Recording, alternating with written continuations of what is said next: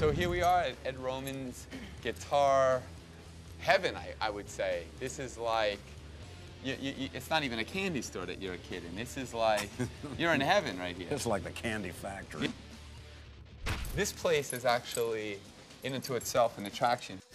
There's the uh, famous uh, Eric Clapton's uh, Wow. Cream Les Paul. Mm-hmm. Eric won't mind. In tune. I'm impressed.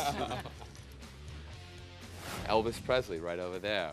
I just saw him, by the way, at, over at Dunkin' Donuts. was he Yeah, back? yeah, I, I just knew he him. was hanging He was listening there. to his ZZ Top song, actually. Viva Las Vegas. Good for him. Yeah.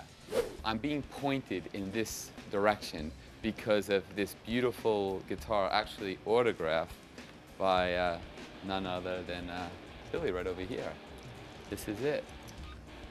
Aha, there it is. John Bolin made this one for us. Mm-hmm.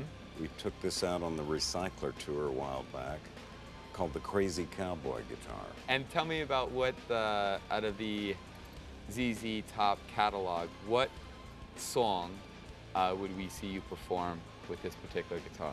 This one would probably be uh, best suited for maybe Tube Snake Boogie. Okay. Uh, one of the up-tempo numbers. Uh, That's also on your greatest hits. oh yes, Yeah. the, the sheer size of this instrument keeps you planted. There you go. so it's good for something really rocking and Right, fast.